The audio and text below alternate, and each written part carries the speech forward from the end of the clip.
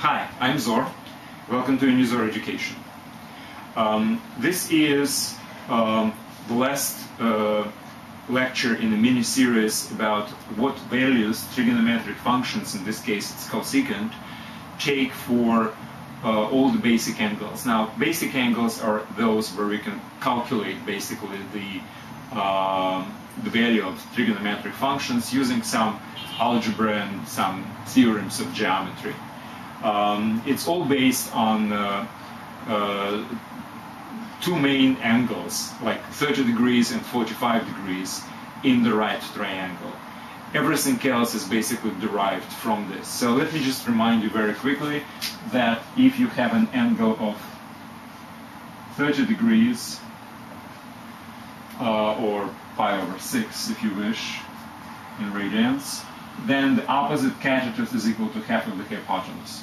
Very easy to prove, just you know, construct the triangle symmetrical like this. You will have 60 degrees, 60 and 60, so it's equilateral uh, triangle, and uh, which means that this side is equal to this side, and this is double the catetus. So that's easy. So if this is 1, this is 1 half. Now, if this is 1 half, then we can very easily calculate the second uh, catetus, which is uh, by theorem, by Pythagorean theorem, x squared plus 1 half square is equal to 1 square, right?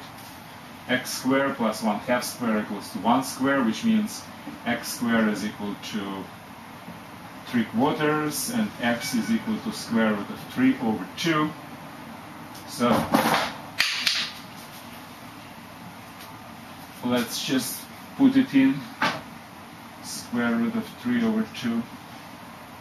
I never remember anything like this. I always remember just one half, everything else can be derived using the Pythagorean theorem. And another example I was saying about the angle of 45 degrees, also very easily calculated. If this is 45 degrees, this is also 45 degrees. So if this is 1, and this is x, and this is x, so x squared plus x squared is equal to 1. Uh, x squared is equal to 1 half, and x is equal to 1 over square root of 2, which is square root of 2 over 2. So, let's just remember this. We didn't really memorize it, we derived it. That's always my preferable way of doing things. Now, knowing that, all other angles which are kind of related to this, like 120 degrees or 270 degrees, 150 degrees, whatever else, or negative uh, 120 degrees, all these angles, which we also call basic, um, are very much related to these ones, and uh, I will calculate the value of cosecant for all the angles just based on whatever I have here and certain uh, considerations of symmetry I have introduced when I talked about basic angles. So we go back to our uh, unit circle. Let's mark our angles like this. This is 30 degrees, this is 45, this is 60. Now, why did I put 60? Well, for obvious reason. If that is 30, then this is 60. So it's all easy to calculate. Drop down the perpendiculars. Now, this is a unit circle, which means the hypotenuse in each of these three uh, right triangles is always equal to 1. Now, the smallest catetus, now if this is 60, then this is 30, so this is 1 half. Let me put it here. This is 1 half. This is square root of 2 over 2, and this is square root of 3 over 2. So the coordinate of this point is abscissa is So it's what? This is 30 degrees. We don't need this anymore. Which is pi over 6. And the coordinates of this point are square root of 3 over 2 comma 1 half. Because the ordinate is equal to, this is 30 degrees, this is 45, and this is 60. So the ordinate is half of hypotenuse. Now, this is 45 degrees, which is pi over 4, and the coordinates are square root of 2 over 2, square root of 2 over 2. Both categories, both categories are um, equal to each other.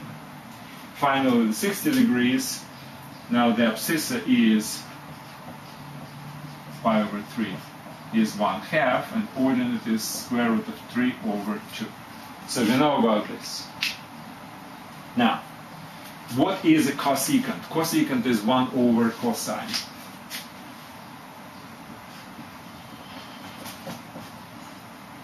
Uh, 1 over sine. Yeah, 1 over sine. Cosecant is 1 over sine. So, what is the sine? Sine is ordinate in the unit circle. For each angle, I get this point, which makes this angle from the positive direction of the x counterclockwise. So this is 30 degree, 45 and 60. So if I will take an ordinate, which is 1 half, in this case, square root of 2 over 2 and square root of 3 over 2. If I will invert it, like in this case it would be 2, in this case it would be 2 over square root of 2, which is square root of 2, and in this case it would be 2 over square root of 3, which is uh, 2 square root of 3 over 3. So these are uh, cosecants of these angles, but we already spoke about that before. Now we are talking about other angles which are outside of the first quadrant, quadrant on, on the cogenant plane. Okay, so I have list of all these angles, so let's just do it one by one. Uh, it would be easy for me if I will do this.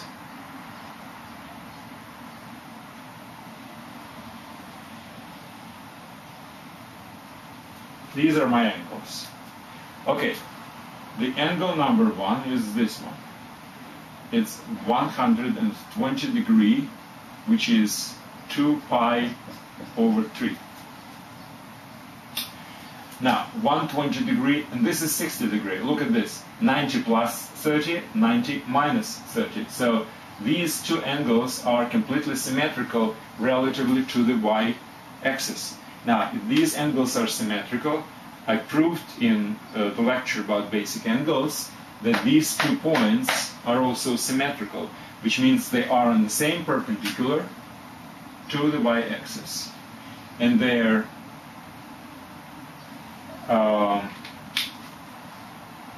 uh, x-coordinates, abscissas, are opposite in sign, but the same in absolute value. That's what makes these symmetrical. So these are two uh, equal, uh, congruent actually, segments, and this is one perpendicular. They share the perpendicular to the y-axis. Okay? Now, if that's true, then what's the coordinates of this point? Well, again, the ordinate is retained, which is this one, but the abscissa is opposite in sign, so it's this. So, what's the value of cosecant, which is 1 over sine? Sine is an ordinate. Ordinate is retained. So it's 2 over square root of 3 or 2 square root of 3 divided by 3. That's my cosecant. Next. This is 135 degrees or 3 pi over 4. Now, coordinates of this are. This point is obviously symmetrical to this one. 135 is 90 plus 45. 45 is 90 minus 45. So these points are symmetrical, which means my ordinates are the same, my abscissa is changing the sign. So it's minus square root of 2 over 2, square root of 2 over 2. So my, my uh, uh, cosecant, which is 1 over sine, which is 1 over the ordinate 2 over square root of 2, which is square root of 2. Next is 150 degrees, which is 5 pi over 6. Symmetry is obviously with this point, because this is 90 minus 60, and this is 90 plus 60. So I retain my ordinate, I change the sign of abscissa, so it's minus square root of 3 over 2, comma 1 half. And what's the uh, cosecant, which is 1 over sine, which is 1 over ordinate, which is 2. Next is pi. Pi has coordinates minus 1 comma 0, and the cosecant is obviously undefined because we cannot divide by 0. Cosecant doesn't exist for a 180 degree or a pi angle. Next, next we go this direction. Uh, just for fun, I mean, you can go forward and increasing the angle, or you can go in the opposite, in the negative direction, and basically come to the same point, this or this or any other, using the negative. So I choose just for you know diversity uh, uh, to use negative angle. So this is minus 30 degrees, or minus pi over 6. And obvious symmetry is with plus pi over 6, right? These two angles are symmetrical relative to the horizontal x-axis, which means they are projecting into the same, which is abscissa, which is square root of 3 over 2, but their ordinates are opposite in sign, but uh, equal in absolute value. So in this case, it would be minus 1 half. Now, what would be then the cosecant of this particular angle? Well, if sine is minus 1 half, cosecant is reverse, so it would be minus 2. Okay, next. Next is minus 45 degrees, or minus pi over 4. Symmetry is with this point, plus 45. So I'm retaining abscissa, which is square root of 2 over 2. I'm changing the sign of the ordinate. And my uh, cosecant would be minus 2 over square root of 2, which is minus square root of 2. Next is minus 60 degrees, which is minus pi over 3. The coordinates are symmetrical with this point, plus 60. So I retain ordinate, but I change the sign. Uh, sorry, I retain the abscissa, I change the sign of ordinate. So it's 1 half minus square root of 3 over 2. So I'm interested in ordinate. Uh, inverting this would be minus 2 over square root of 3 multiplied by square root of 3. So it's minus 2 square root of 3 divided by 3 minus pi over 2, minus 90 degrees. The coordinate of this point is immediately 0, minus 1. So knowing coordinates, I can invert my ordinate, and that would be my invert, invert of a sine. It would be a cosine, which is equal to minus 1. Next is this which is minus 120 degree, which is minus pi over 3. Coordinates are obviously symmetrical with this guy. So I retain my abscissa, my ordinate gets changed, that's coordinates, and therefore my uh, cosecant is minus 2 square root of 3 over 3. This is minus 135 degrees, which is minus 3 pi over 4. My symmetry is with this guy, which is minus square root of 2 over 2. I change the sign of ordinate, which is also minus square root of 2 2 and my uh, sine will be minus square root of 2. Inver in, in, inverse this one. Next is this, which is minus 150 degrees, which is minus 5 pi over 6 symmetrical to this point minus square root of 3 over 2 minus 1 half. I inverted the ordinate. So my uh, cosecant is invert of minus 1 half, which is minus 2.